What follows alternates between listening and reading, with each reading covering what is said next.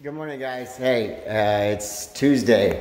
We are over here at the job site, and uh, I just want to show you a couple things as to what we've accomplished and not accomplished. So let me show you what we got going on.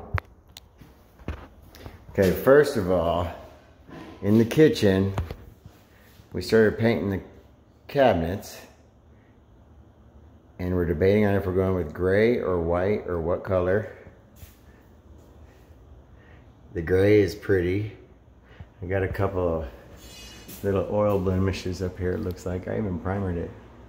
Not to send those out. Anyhow, so that looks good. The blemishes don't. Paint looks good. Uh, as far as the painting, the color is yet to be determined. So we got things getting cleaned up around here. Got the painting all basically touching everything up bunch of loose ends everywhere, but it's, it's coming along. Got the baseboards to put in, registers, electrical, lights, so on and so forth. Um, don't come in there. Okay, that's good. This one's good as well. Um, go upstairs and see what's happening upstairs.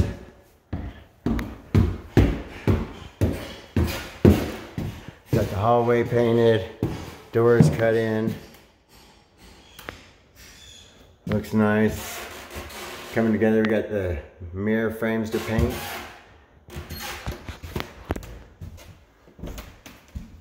There's a good view right here of the door. Right there. That's good. We're gonna paint those gray as well. Ooh, that sounds good. Anyhow, come along, bathroom.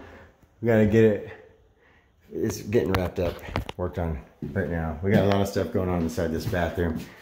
Fixing to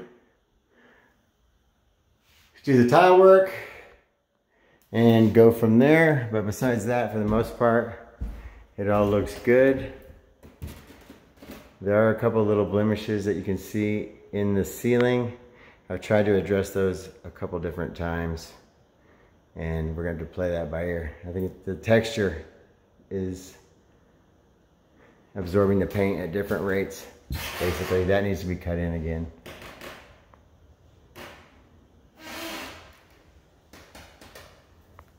That's fine. So anyhow, once again, that's what we got going on. Next is flooring. We've got a good two weeks left. That's all we're gonna have. So we got to get busy the rest of this week and next week for sure. But it's coming along fine. It'll start picking up a little bit better when you get things going on. But once again, there's the gray. And there's the white metal. It's gonna look fantastic with the